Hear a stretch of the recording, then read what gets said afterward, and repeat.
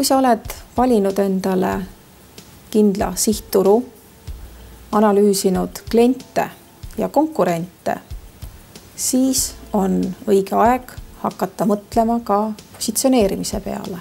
toote-teenuse positsioon seisneb selles, kuidas kliendid sinu toodet või teenust näevad võrreldes konkurentidega.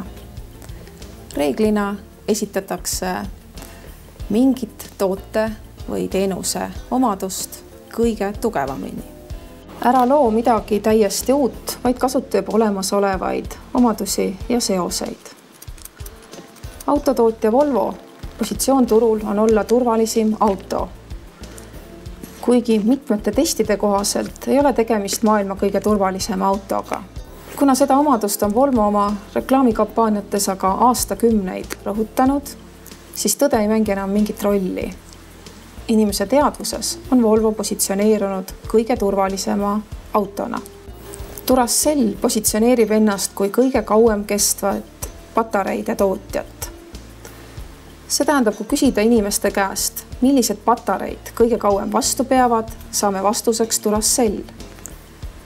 kui inimene poodi läheb, siis ostab ta selle, mis talle spontaanselt esimesena meenub ja mis kõige kauem vastu peab, ehk siis Duracelli.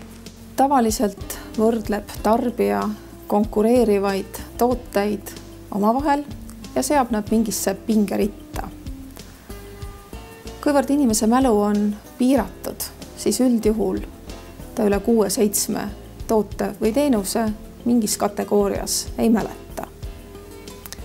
ja kui ostmiseks läheb, siis langetatakse tavaliselt valik nende seast, mis kõige esimesena meenuvad. seega proovi olla esimeste seas või kui sa ei ole esimeste seas oma tarbija teadvuses, siis loo täiesti uus kategooria ja ole seal esimene. näiteks võtame ülikoolid ja kõrgkoolid. Eesti ettevõtlus kõrgkool Mainor on maine poolest ülikoolide ja kõrgkoolide seas kuskil viiendal-kuuendal kohal. tundub et see on päris hea koht. tegelikult aga medalit viienda või kuuenda koha omanik ju ei saa.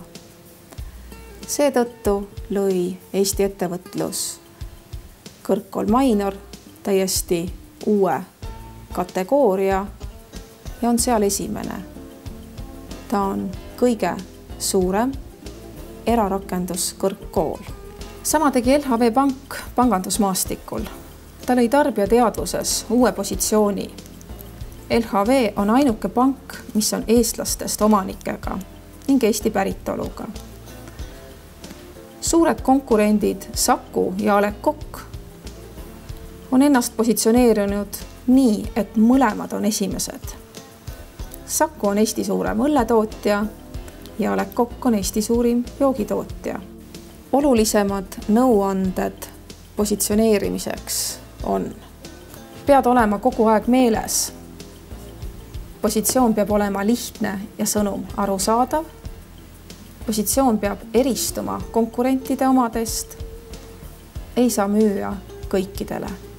Pea kindlasti meeles, et positsioneerimisega tegeled sina ehk siis ettevõte.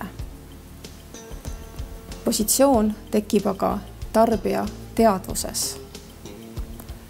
loomulikult võid positsiooni aeg-ajalt muuta, aga ära tee seda liiga tihti, sest siis see lihtsalt ei kinnistu ja tarbija teadvuses tekib suur segadus